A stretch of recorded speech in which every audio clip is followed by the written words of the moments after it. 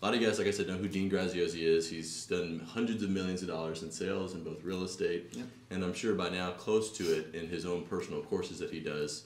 And so, if you could take away three things, because Lucas sat down in many meetings, small meetings with five or six people, if I'm not mistaken, with just Dean Graziosi in this meeting behind closed doors. And to think about, you know, someone that is at that level of success, where he's impacted that many people, studied that much, done this much, and left his mark on this world. If you could only take three things, just three things, and those are the only three things that you could remember about working with Dean for the rest of your life, what do you think those three things would be? Mm-hmm. One of the most important things I've learned from him is really just like paying for speed. Paying for speed is so important because why would I spend, you know, 20 years trying to figure out real estate or figure out how to start this business when Dean Graziosi has 30 years of experience in marketing and selling and he can just give me the path to success and the path to market it and sell it. Just don't be scared to invest in yourself and get that course for running Facebook ads or get that course for selling real estate or wholesaling real estate. Uh, that was the first course I bought from Dean is a wholesaling real estate course. Just don't be scared to you know pay for speed.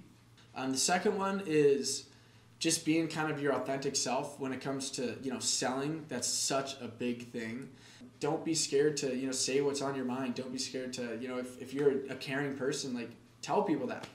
You know I really care about people. I can tell you know you're you you're really caring and um, leverage your your qualities that you know you have some good qualities and just leverage into those qualities and just be the best version of yourself and uh, and be authentic whether that's sales videos in front of people you know like alex um, anyone bridger you know all, all your buddies all your friends all the people you're just meeting like just be your authentic self. I'd say the third thing when it comes to like writing ads in copy because if you're not running on social media platforms and stuff like you're probably doing yourself a disservice just to be honest i think it's 72% of the time it might even be higher it's literally the headline. So that headline that you see on the ads where it's right uh, how to go from zero to 100 clients in less than 60 days right? Like Mhm. that headline is the determining factor of whether or not your whole entire ad is going to convert. Just reverse engineer, change the headline, tweak it a little bit, and uh, ninety percent of the time, that'll be the trick, and you'll find something that that's a winner. Dude, that's so nice to hear. Um, first, paying for speed. Mm-hmm. So paying for speed, and paying for speed could be, uh, like you said, masterminds. Yeah.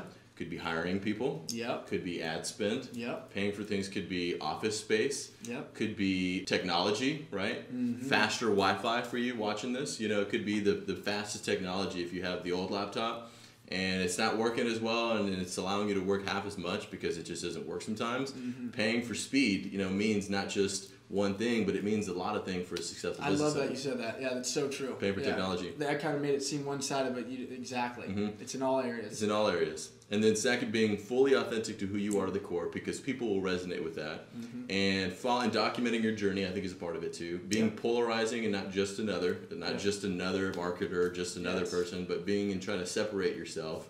And the best way to do that is just to be who you are, Yeah. right? Be who you are fully to the core. Mhm. And then third, ad marketing, at the headline, Yes. and the video, right? That you're yes. talking about, in the Vi- actual video. video, um, you know, could just be like a static ad, even just you know the one-liner, um, anything like that. Yeah. Yes.